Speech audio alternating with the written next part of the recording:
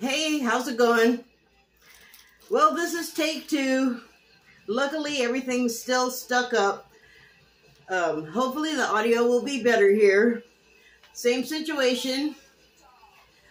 My good friend, whose music is playing right now, Jeff Dahl.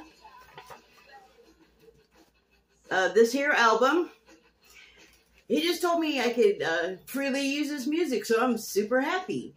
And I had forgotten that uh, I was there on the day that he did the photo shoot for this record in this picture.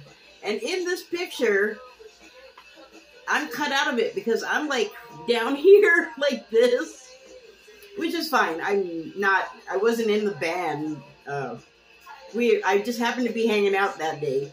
But anyway, this is one of my favorite uh, records by him. And what I didn't say the last time I did this, the first time, is inside here, the liner notes, he put uh, the music musicians who played on here. And it's him, and then there's Dave Nasworthy from Chemical People on drums. Uh, Jaime Pina plays lead guitar on Pretty Blonde Hair. Paul Cutler, my love and my hero from 45 Grave, and well, lots of other stuff. But 45 Grave was my jam with Paul. Uh, and he plays on Mick and Keith Killed Brian. And Mike Reiss played uh, lead guitar on Chemical Eyeballs. John Duffy, God rest his soul, sweet guy, played bass on Cherry Bomb. Bruce Duff, another good friend, backing vocals. And Donita Sparks played additional guitar mayhem on Dirt. So all fantastic musicians that I don't know if they're all from LA, but that's where I know them all from. So anyway, I am talking today about Night Sky, which starred Sissy Spacek and J.K. Uh, Simmons. Two actors that I really enjoy, but I haven't seen a lot of uh, Sissy Spacek over the years. I'm sure she's been in things, but I do have like certain things I like to watch, so it's likely that I missed those things. But J.K. Simmons, I have gone lots of places with him in his roles. Not when he was the drum teacher. I, I, I that I didn't watch that, but in Oz, um, yeah, really good in HBO's Oz, and uh, Counterpart, which they canceled. Oh my God, they're so dumb. It's so good. It is like a dimensional story, a poly-dimensional story, and it is a sci-fi, but there's no spaceships or space creatures. It takes place on Earth, I don't know, 37, another version, another dimension of Earth, but it's situated in such a way that there's a spot where this government agency is attached to its mirror image in this other dimension and you get there through like an underground passage. It's crazy good and i can't believe they canceled it. But anyway night sky. It's a series and so uh, I, i'm just going to talk about season one because that's what i've watched so far. That's what's available and i sure hope they bring it back on the surface the series i'm just going to kind of read my notes here so sorry if i'm not looking at the camera all the time On the surface, this series is about an older couple with a secret, an ancient order that acts behind the scenes to affect society that are the true shepherds of the treasure the couple have found. It's about the object and the swirling dynamics within the order. You get the idea that the infighting and even murder combined with an untold but alluded to loss of information or interruption of some kind that has them understaffed and unaware of all of the location of all of these like transporter device things. no matter uh, the group is in the state. Oh, I think I jumped ahead of myself there. no matter, oh, no matter, the group is in a state of mostly unspecified disarray as evidenced by the mother and daughter who traveled to the U.S. from their home, which I think is in South America. But what I got from it the most was a focus on relationships. like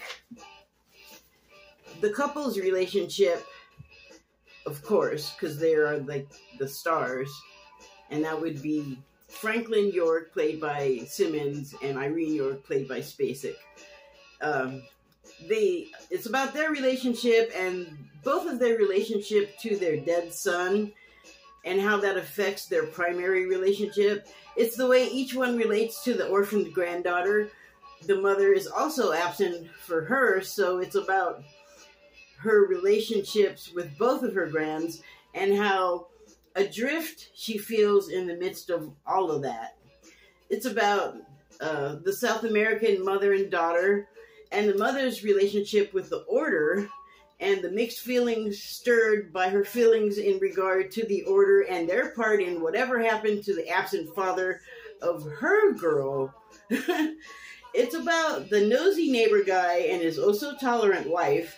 It's about the young mysterious man who arrives suddenly and falls into all of the relationships and upends them all with joy, fear, resentment, and confusion also, uh, fulfillment and answers to questions not a one of them knew they had.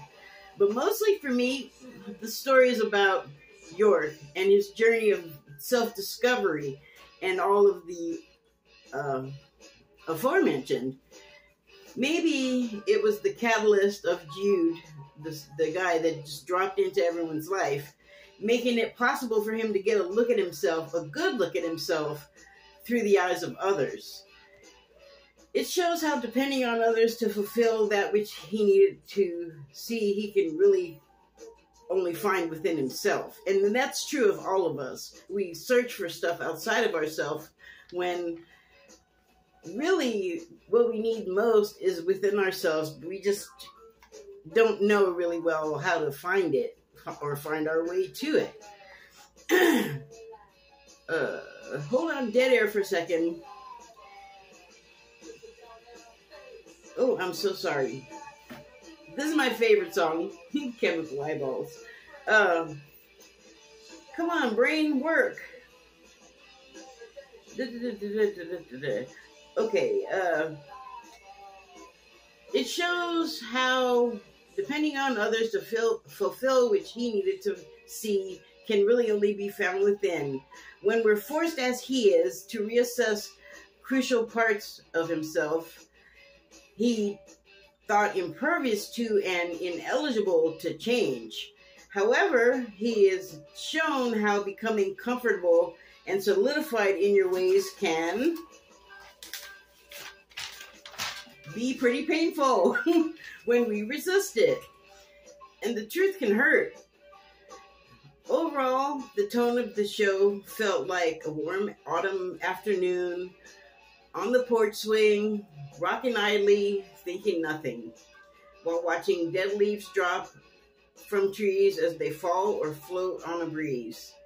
Even with all the excitement and danger, all of it had an everything as it should be vibe. That's when, in this case or any other, we're feeling the touch of spirit.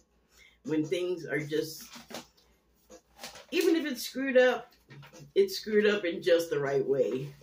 So I don't know. Like I said, I oops, super hope that that show is renewed, and I hope that you will watch it, and I hope that everyone will give a counterpart a look. Thank you, thank you, and good night.